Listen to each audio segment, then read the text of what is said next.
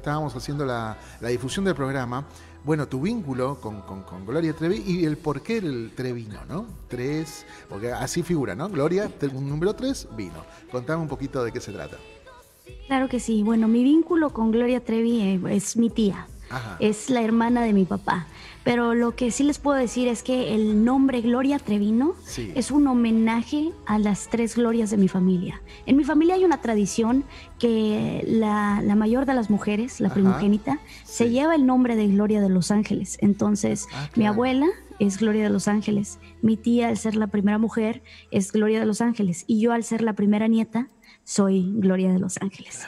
Entonces de ahí viene el 3. Y bueno, la palabra vino es porque estamos re buenas como el buen vino.